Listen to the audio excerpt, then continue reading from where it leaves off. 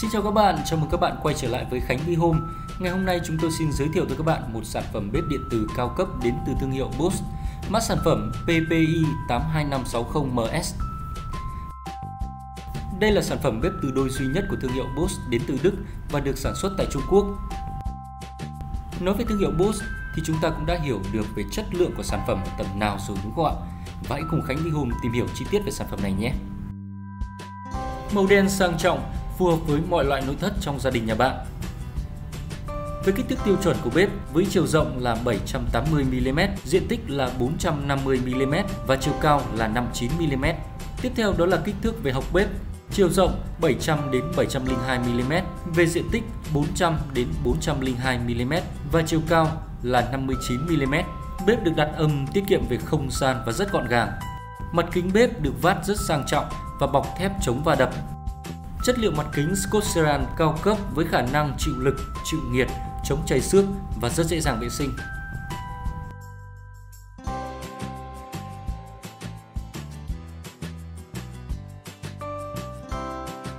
Bảng điều khiển dạng LED hiện đại với 9 mức gia nhiệt. Hai vùng nấu được đánh dấu chữ thập với tổng công suất là 3.500W. Công suất vùng nấu thứ nhất là 2.200W và công suất vùng nấu thứ hai là 1.300W. Sản phẩm có các chức năng nổi bật như chức năng khóa bản điều khiển tạm thời,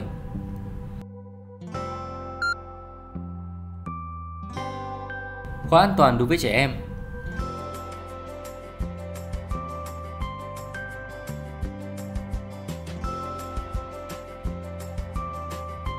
nấu nhanh Power Boost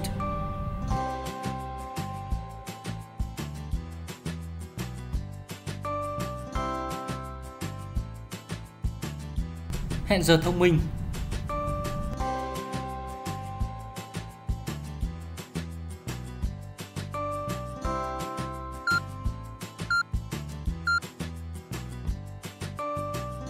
Cảnh báo nghiệt dư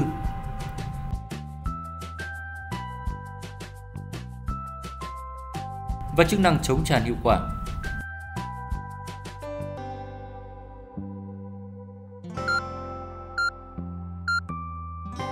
Và sau đây hãy cùng Khánh Vi Hùng thử chiên trứng và luộc rau nhé các bạn. Bước 1. Hãy giữ bàn phím nguồn 2 giây để khởi động bếp. Bước 2. Chọn vùng nấu và chọn mức công suất phù hợp. Bước 3. Chọn các chức năng thông minh của bếp. Nấu nhanh Power Post giúp đun nước nhanh hơn.